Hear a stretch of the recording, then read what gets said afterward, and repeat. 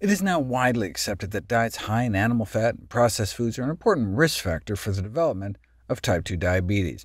And it's not just animal fat, but animal protein intake intensifies insulin resistance, which predisposes people to type 2 diabetes. No wonder studies have shown that elevated consumption of animal products and low intake of unprocessed plant foods increases the risk of not only cardiovascular disease, but diabetes. But of all whole plant foods to pick, why choose oatmeal to treat diabetes, which, as I discussed in my last video, was used for the treatment of diabetes before insulin was discovered. We've long known that higher consumption of whole grains, including oats, is associated with a lower risk of diabetes, but you don't know uh, until you put it to the test. There's been over a dozen randomized controlled trials looking at the metabolic effects of oats intake in patients with type 2 diabetes, and oats were found to significantly improve both short-term blood sugar control and long-term blood sugar control, in addition to lowering cholesterol levels.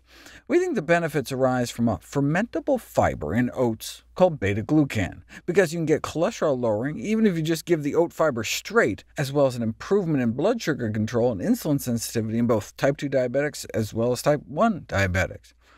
How exactly does the fiber do that? Uh, well, we know one of the underlying cholesterol-lowering mechanisms of oatmeal consumption might be its microbiome manipulating ability, in other words, having a beneficial effect on our intestinal bacteria.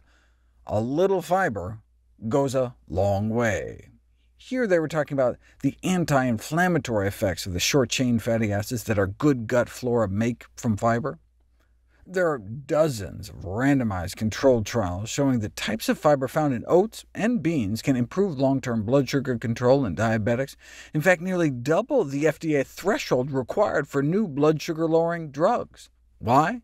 Because the gut bacteria selectively promoted by dietary fiber intake can help alleviate type 2 diabetes. In fact, on the basis of 50 distinct bacterial markers of the feces, you can tell who does and does not have diabetes. But change your diet, and you can change your gut flora within one day. We feed them with fiber, and in return they feed us right back with these short-chain fatty acids like butyrate that have all these wonderful effects. Put people on a diet packed with oats, beans, fruits, vegetables, and nuts, and the number of fiber feeders churning out the beneficial short-chain fatty acids shoots up, and fasting diabetic blood sugars drop about 25% within one month. And the more fiber feeders they fostered, the better their blood sugar control. When the fiber-promoted short-chain fatty acid producers were present in greater diversity and abundance, participants had better improvement in their hemoglobin A1c levels, uh, which is a measure of longer-term blood sugar control. Then, before and after fecal transplant studies help nail down cause and effect. The oat fiber itself has been shown to act as a prebiotic, boosting the growth of beneficial bacteria like lactobacillus and bifidobacteria. So between the lack of animal protein, lack of animal fat, and bursting at the seams with prebiotic fiber, it's no wonder that oatmeal diets grew to become part of the clinical routine in the treatment of diabetics.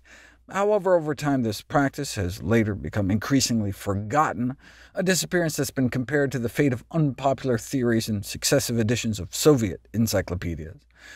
Despite advances in therapy, we still have many people with poorly controlled diabetes. Thankfully, this forgotten tool is back. I'll review all the new oatmeal diet studies next.